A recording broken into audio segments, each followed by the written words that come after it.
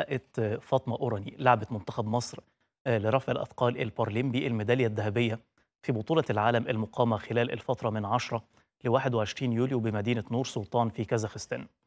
آه، بتشارك مصر في البطولة ببعثة بتضم 20 لاعب ولاعبة آه، بتضم كل من إبراهيم أمين عضو مجلس إدارة اللجنة البارالمبية المصرية رئيسا للبعثة ومحمود نبيل مدرب وشعبان الدسوقي مدرب عام ومحمد عوض مدير إداري.